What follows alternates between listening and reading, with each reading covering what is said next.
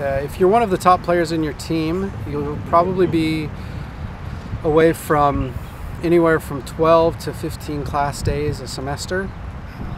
Every school, some schools are quarters, some are semesters, uh, but usually you'll travel anywhere from 12 to 15 days uh, away from class.